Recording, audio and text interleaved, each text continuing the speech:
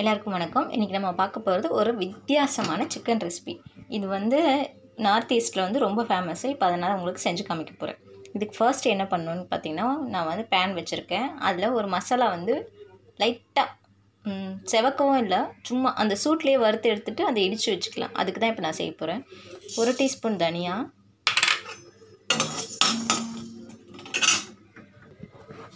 தனியா கொஞ்சம் சூடானதும் ரெண்டு ரெண்டு காஞ்ச மிளகா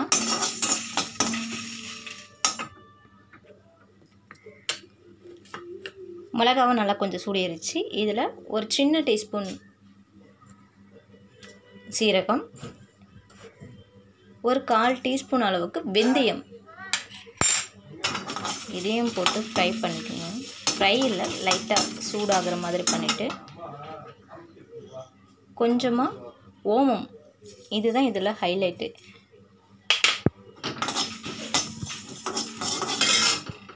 இப்போ இதை ஆஃப் பண்ணி எடுத்து அவ்வளோதான் ஆயிடுச்சு இதில் கொஞ்சமாக இந்த அளவுக்கு இருந்தால் போதும். மிளகு வந்து போட்டுட்டு ஸ்டவ் ஆஃப் பண்ணிடு. இப்போ நம்ம ஸ்டார்ட் பண்ணிடலாம். இதில் வந்து நான் பேன் வச்சு அதில் மூணு டேபிள் ஸ்பூன் ஆயில் யூஸ் பண்ணியிருக்கேன் இது வந்து கால் கிலோ சிக்கன் மட்டும் தான் நான் எடுத்திருக்கேன். அதனால் இதில் வந்து ஒரு பிரிஞ்சி இலை. அது வந்து நல்லா இது மாதிரி லைட்டாக எண்ணெய் சூடிடணும்னு போட்டுக்கோங்க. இதுக்கப்புறம்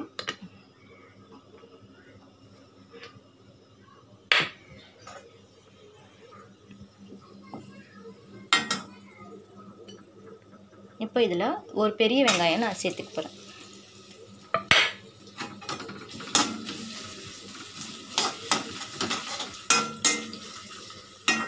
இப்போ நான் ஃப்ளேம் கம்மி பண்ணிகிட்ருக்கேன். இப்போ ஃப்ளேம் கம்மியில் இது வந்து விதங்கிட்டே இருக்கட்டும். அதுக்குள்ளே நம்ம நம்ம இந்த மசாலாவை இடிச்சிட்டு வந்துடுறேன் நான். நீங்கள் உங்களுக்கு இடிக்க வசதி இல்லை அப்படி சொன்னால் நீங்கள் என்ன பண்ணுங்கள்? மிக்சியில் போட்டு நல்லா குறை குறைப்பக்கம் இல்லாமல் நைஸாகவும் இல்லாமல் கொஞ்சம் நான் இடிச்சிட்டு காமிக்கிறேன். அந்த அளவுக்கு இடித்தா போதும். நான் இப்போ இந்த மசாலாலாம் இடி உரலில் போட்டேன். இதை நல்லா இடிச்சிட்டு உங்களுக்கு காமிக்கிறேன்.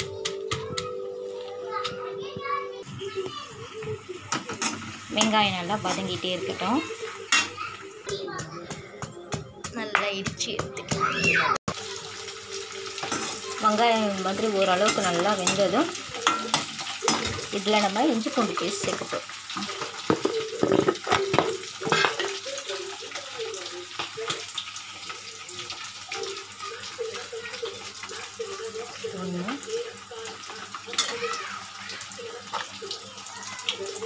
நல்லா ஒரு பெரிய டேபிள் ஸ்பூனாக ஒரு டேபிள் ஸ்பூன் இஞ்சி பூண்டு சேர்த்து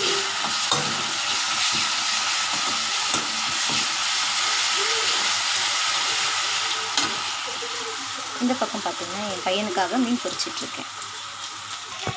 இஞ்சி பூண்டு நல்லா வதங்கிருச்சு. இதில் கால் டீஸ்பூன் மஞ்சத்தூள்.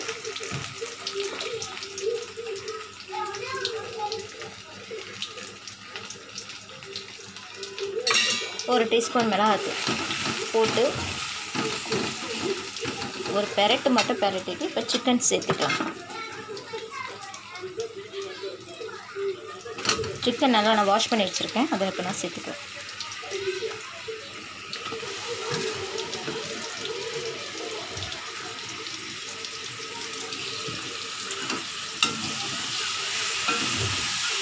நல்லா மிக்ஸ் பண்ணி விட்டுக்கணும்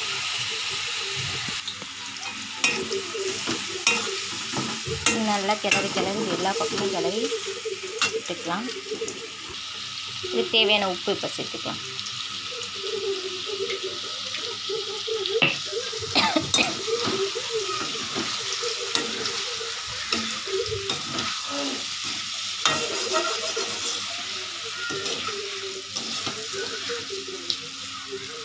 இது இப்படியே ஒரு பதினஞ்சு நிமிஷம் நல்லா வெந்து வரட்டும். பார்த்தா சிக்கன் செவன்ட்டி ஃபைவ் பர்சன்ட் வந்து நல்லா குக் ஆயிடுச்சு இப்போ நம்ம இடித்து வச்சுருக்க இந்த பொடியை அதில் சேர்த்துக்கலாம்.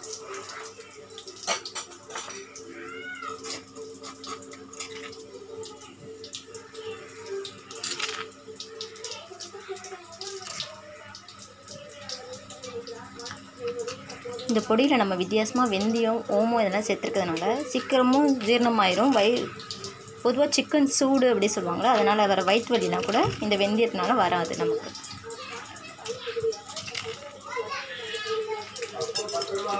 இப்போ நல்லா மிக்ஸ் பண்ணி விட்டுக்கலாம்.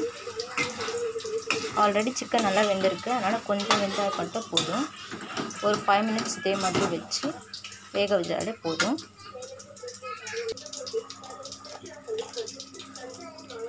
இது இப்போ கொஞ்சமாக கரம் மசாலா நம்ம இப்போ போட்டுக்கலாம். கரம் மசாலா சேர்த்தாச்சு இப்போ நல்லா மிக்ஸ் பண்ணி விட்டு பாருங்கள் எவ்வளோ கலர்ஃபுல்லாக இருக்குன்னு.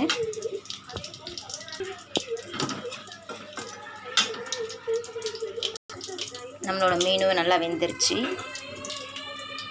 சிக்கனும் ரெடி ஆயிடுச்சு அவ்வளோதான் நம்மளோட சூடான சுவையான வித்தியாசமான சிக்கன் கிரேவியும் ரெடி பொரிச்ச மீனும் ரெடி அடுத்த பேட்ச் வெந்துட்டு பாய்